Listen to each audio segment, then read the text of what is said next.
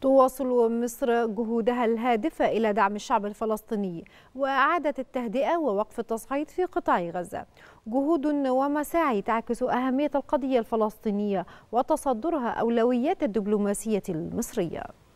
لطالما كانت القضية الفلسطينية في صدارة أولويات الدبلوماسية المصرية في كل المراحل ورغم كل الظروف عربيا وإقليميا ودوليا سعت مصر منذ عام 1948 وتسعى بكل ما أوتيت من قوة لبذل جهود سياسية لتكثيف مستوى التنسيق إزاء المستجدات والتحديات. ومع العمل على استعادة حقوق الشعب الفلسطيني من خلال إنهاء الاحتلال الإسرائيلي للأراضي الفلسطينية المحتلة منذ عام 1900 1967 ومواجهة التحديات الماثلة أمام جهود نيل الشعب الفلسطيني لحقوقه غير القابلة للتصرف وإنجاز حق تقرير مصيره وإقامة دولته المستقلة ذات السيادة الوطنية الكاملة على جميع أراضي دولة فلسطين التي احتلت منذ عام 1967 وعاصمتها القدس الشرقية. دور مصر لا يوازيه دور سواء في النطاق العربي أو حتى الإقليمي والدولي لدعم ومساندة القضية الفلسطينية أمام كافة كافة المحافل وخلال مختلف اللقاءات بهدف التوصل إلى حل عادل وشامل للقضية الفلسطينية وبلورة التصورات الكفيلة بتفعيل جهود استئناف المفاوضات بين الجانبين الفلسطيني والإسرائيلي والعمل مع الشركاء لإحياء عملية السلام وفقا للمرجعيات الدولية المعتمدة. وعقب تولي الرئيس عبد الفتاح السيسي المسؤولية تزايد الاهتمام المصري بالقضية الفلسطينية باعتبارها القضية المركزية بالنسبة لمصر فبذلت القاهرة العديد من الجهود لوقف إطلاق النار لتجنب المزيد من العنف ولحقن دماء المدنيين الأبرياء من أبناء الشعب الفلسطيني. الدور المصري القوي ظهر جليا أمام العالم بعد نجاحها في وقف إطلاق النار بين الفلسطينيين في قطاع غزة وإسرائيل في عام 2021 فمنذ الرصاصة الأولى في هذا التصعيد لم تتوانى مصر لحظة في دعم الشعب الفلسطيني وإنقاذ القطاع من الدمار. فكان قرار وقف إطلاق النار بجهود دبلوماسية مصرية مكثفة على كافة الأصعدة قبل إعلان مصر عن مبادرة لإعادة إعمار غزة ب 500 مليون دولار بمشاركة من الشركات المصرية وعلى صعيد الموقف من مدينة القدس المحتلة. تجدد مصر دوما التأكيد على موقفها الثابت إزاء رفض وإدانة أي إجراءات إسرائيلية لتغيير الوضع التاريخي والقانوني القائم في مدينة القدس ومقدساتها محذرة من العواقب الوخيمة التي قد تترتب على الإخلال بذلك أو على محاولة استباق أو فرض أمر واقع